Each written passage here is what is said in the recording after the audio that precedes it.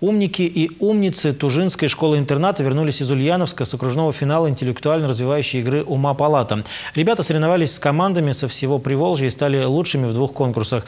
С отличным результатом тужинских умников и умниц поздравил главный федеральный инспектор по Кировской области. Подробности у Андрея Дозорцева. Вернувшись из поездки, чуть ли не каждый день они принимают поздравления. Их благодарят друзья, учителя и руководство интерната. На этой встрече теплые слова от главного федерального инспектора. Великолепная пятерка, как называют команду в родной школе, в Ульяновске защищала честь всей области. Огромное, огромное спасибо. Я поздравляю участников, победителей э, вот, э, конкурса «Ума палата» и надеюсь, может быть, на следующий год вы опять поедете куда-либо куда и выиграете и займете первые места. Воспитанники Тужинской школы-интерната подготовили гостям целую фотопрезентацию. В ней показан путь команды «Пятый элемент» до заветного финала. Серьезным испытанием стало участие ребят в областном этапе игры «Ума палата». Они стали лучшими среди команд восьми интернатных учреждений региона. Как победители их ждало участие в окружном финале.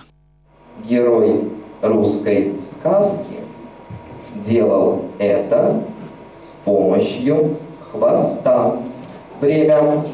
В Ульяновске за победу в интеллектуально развивающей игре боролись ребята со всего Приволжья, 14 команд. За столами знатоков они отвечали на нелегкие вопросы. За ребят волновались воспитатели. Какие-то вопросы, может быть, наши преподаватели на уроках им задавали. И биология, и литература, и вот на химии мы с ними проводили викторины. Поэтому я думаю, не знаю, может быть, что-то попадется, может быть, что-то должны они знать из жизни.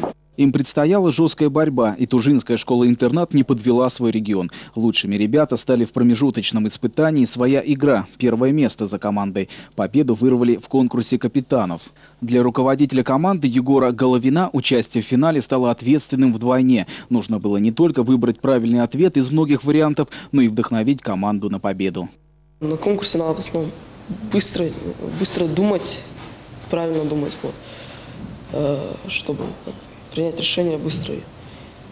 Как бы надо думать командой, что ты не один, а пять человек.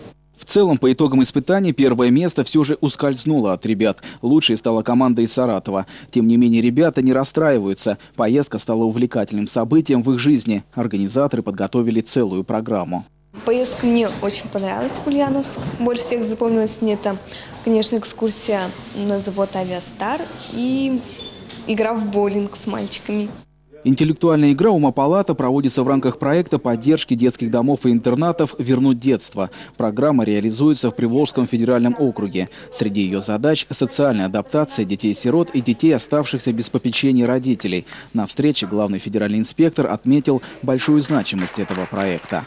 Мы просто видим детей, которые неравнодушны и завтра хотят выйти э, в большую жизнь э, с огромными знаниями, с огромной ответственностью, э, с воспитанием чувства коллективизма.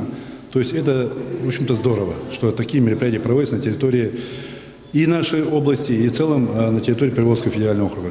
В завершении встречи главный федеральный инспектор подарил книги для библиотеки интерната, а участникам команды пожелал успехов в их учебе. В следующем году конкурс «Ума палата» будет проводиться вновь, и у ребят детских домов и интернатов снова появится возможность проявить себя в интеллектуальном состязании. Андрей Дозорцев, Денис Трушков, Вести, Тужинский район.